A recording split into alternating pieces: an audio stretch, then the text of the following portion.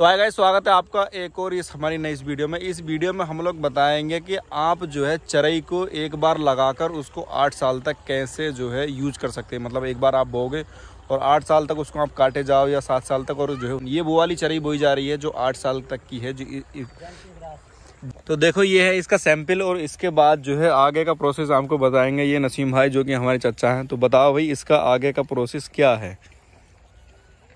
इसके आगे का प्रोसेस ये है ये जो ताइवान की वैरायटी है नेपियर ताइवान जैंकिंग ग्रास इसको लगाने का तरीका ये है ये पहले एक बेड काट लिया जाता है उसके बाद में ये इतना एक इंच ज़मीन के अंदर धसा दिया जाता है इसका बीज चाहिए ये जूम करके दिखा दो।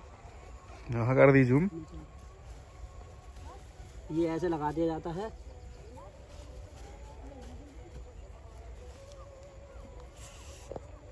जैंकिंग ग्रास इसका ऑफिशियल नाम हमने इसके ऊपर एक वीडियो पहले भी बना दी थी। आज की इस वीडियो में हम आपको दिखाएँगे पूरा प्रोसेस के इसको जो है कैसे लगाया जाता है और आपको जो है इसका बीज कहाँ पर मिलेगा। यहाँ पर एक नंबर आपको मेंशन कर दिया जाएगा। है वो तो ये बताओ, ये जो घा, ये जो चरई है तो इसको अगर आदमी एक बार बोएगा तो ये कितने साल तक चल जाएगी? ये चराई एक बार बोने पर आठ साल के लगभग चलती है।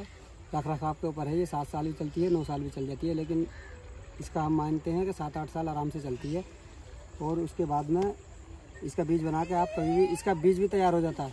इसका बीज तैयार होता है चार महीने में। चार महीने से पाँच अच्छा। महीने तक का बीज ठीक होता है और उसके बाद में मज़ा नहीं आता और चार महीने से पहले बीज इसका तैयार नहीं होता कच्चा रहता है। अच्छा आपका कहने का मतलब ये है कि एक बार आदमी लगा के इसको जो है आठ साल तक या सात साल तक जो है यूज़ नॉर्मली कर सकता है। बिल्कुल कर सकता है और इसकी